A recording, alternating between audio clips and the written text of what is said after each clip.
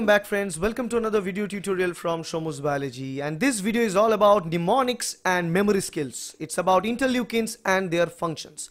I've got a lot of requests that how to remember a list of all those interleukins. Although in this video I'm enlisted most of the important interleukins that are required uh, for the genuine function of our immune system. So how to remember interleukins within 5 minutes. So that's what you're concerned. This video is just for you. So to understand interleukins in 5 minutes and all of the interleukins as well as their function, you need to know only one thing. You know, in this case you don't need to form any story or stuff like that, but just only one thing, a delicious hot T-bone right it may not be much familiar for indian audience but for the outside india it is the familiar one. So hot delicious t-bone stick is what you need to remember to understand the functions of interleukins. But to understand all the roles of interleukins you just need to know one particular picture which is this one.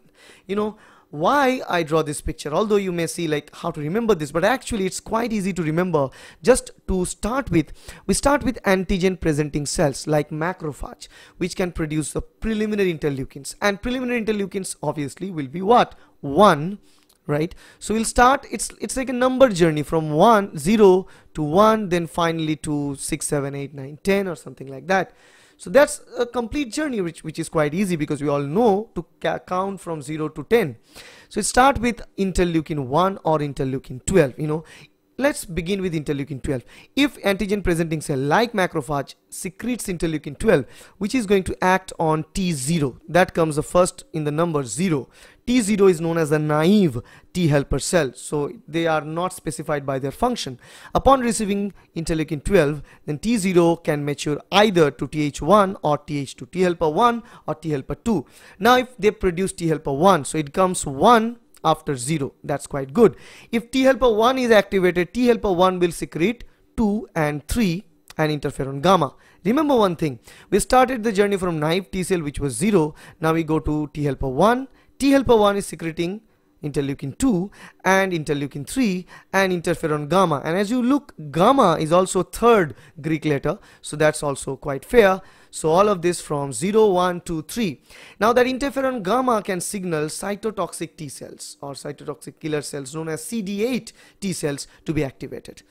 Let's and that process. Now if we go with the T helper 2 cells, T helper 2 on the other hand will secrete interleukin 4, 5 and 6 which will ultimately signal B cells to mature into plasma cells which will turn into antibody secreting factories. So you know T helper 1 uh, once formed from naive T cell, they'll produce 1, interleukin 2, interleukin 3, interferon gamma, and T helper 2 is going to release interleukin 4, 5, and 6. So we are going from 0, 1, 2, 3, 4, 5, 6, and this 4, 5, 6 are responsible to convert B cell into plasma cells. Now once plasma cells are active, plasma cells will also produce another interleukin that is known as interleukin 10 and interleukin 10 is going to repress the act of antigen presenting cell. It is going to inhibit the activity of antigen presenting cells to release uh, or prevent the release of interleukin 12 further. So it's, it's a negative feedback loop that we can see. On the other hand, is antigen presenting cell as I told you at the very beginning can also secrete interleukin 1 but if it secretes interleukin 1 naive T cell or T0 is going to differentiate only into T helper 2. Remember if they secrete interleukin 12, naive T cell can become either 1, T helper 1 or T helper 2. But if they secrete interleukin 1, then the naive T cell will become T helper 2 and then exactly the same process. So as you imagine here, there's nothing difficult to remember. It's simply a sequential process, simply counting from 0 to 6 and then 10. Now how to remember the function of all those interleukins? You know, you need to remember hot T-bone stick. So when we talk about hot T-bone stick, what we mean? Let me erase all these things in here. Okay, so now if you look at here, hot T-bone stick, letters which are written in red are the one that you need to follow. For example, hot interleukin 1 so it starts with interleukin 1 which is hot. Hot means fever. So interleukin 1 causes fever. Then capital T is the second interleukin. So the function of interleukin 2 is T cell stimulation. Then the third one bone. So interleukin 3 bone marrow stimulator.